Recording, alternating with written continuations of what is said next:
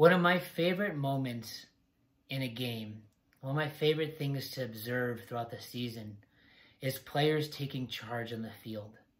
I love when I'm at a game and watching young kids play particularly, and I see one or two kids start communicating and pointing to their teammates, organizing, encouraging, um, reminding teammates of what things they talked about throughout the season, but kind of taking that leadership charge on the field.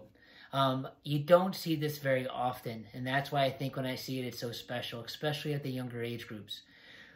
For me, this shows a couple things. One, it shows a tremendous amount of confidence, understanding um, of the player who's doing it. it. It shows to me that the coach in the sideline is doing a really good job of instilling that ownership of the team with the players. Um, the practices that week um, were very clear and precise on what they're trying to do, and, and the players on the field are trying to implement it amongst themselves. So when I watch players taking charge on the field, for me, that is the ultimate sign of learning and development.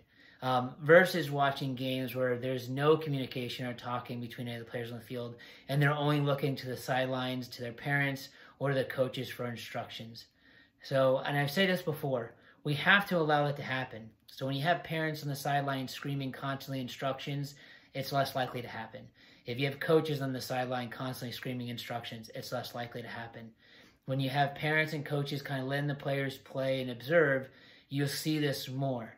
But again, it really for me is is a, a matter of what's being done at training and practice throughout the week and what's being talked about the players that that coaches are encouraging players to do this because it's a special scene. It's a special sight. It's so much fun. It makes me smile ear to ear every time I see it when I see a player in the middle of the field or anywhere on the field from goalkeeper, forward, midfielder, defender, pointing and talking to their teammates.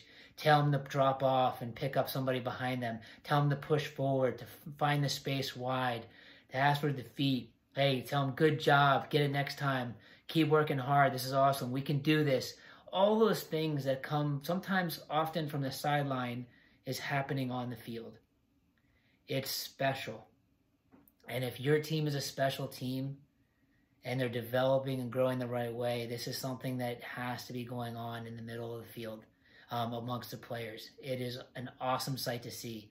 So as you're watching kids play, take note of this.